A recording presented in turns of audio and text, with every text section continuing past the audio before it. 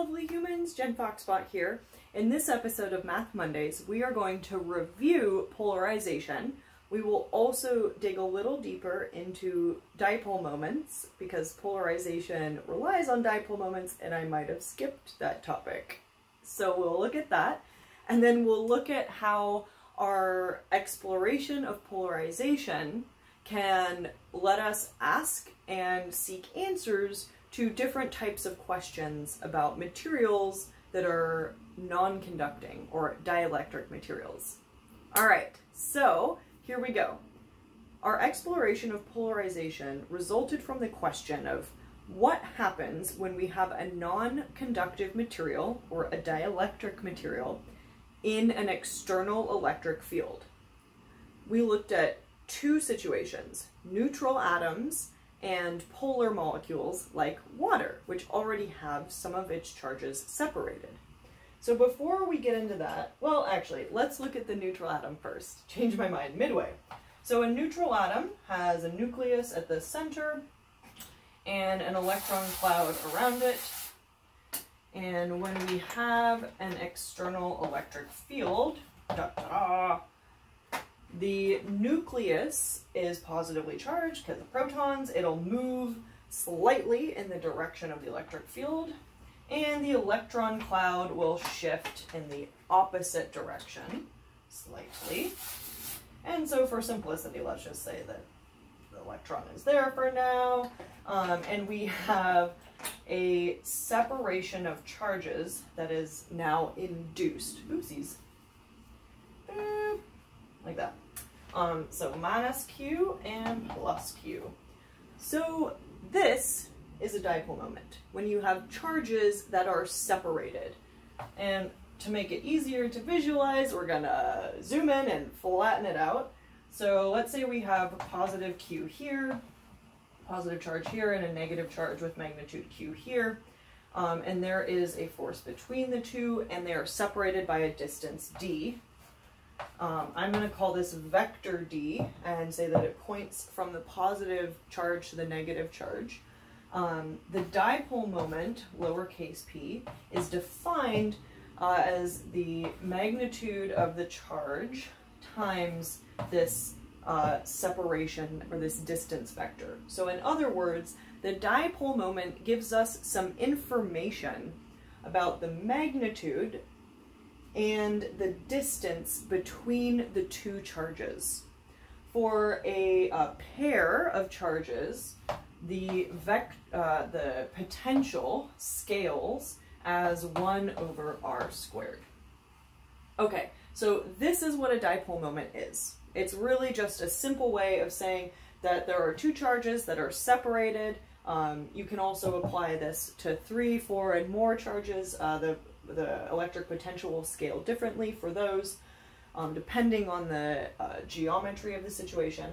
But the dipole moment just gives us some information about how big those charges are, that's what this Q factor is, and how far apart they are, and uh, kind of in what orientation they are, hence why it's a vector.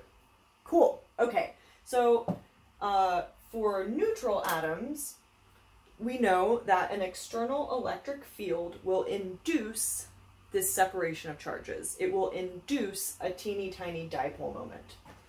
For polar molecules, like water, which we looked at, which already have uh, charges separated, there are already dipole moments within um, the water molecule, for example. When we place an external electric field, um, and we put the water molecule in this, the water molecule will feel a torque and it will want to align itself with the external electric field.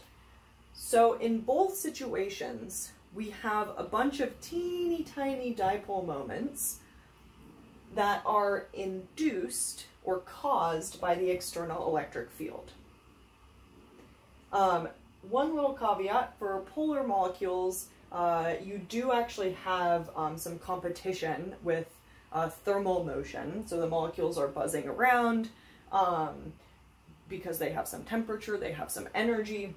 And so this thermal motion tends to counter uh, this torque due to the external electric field.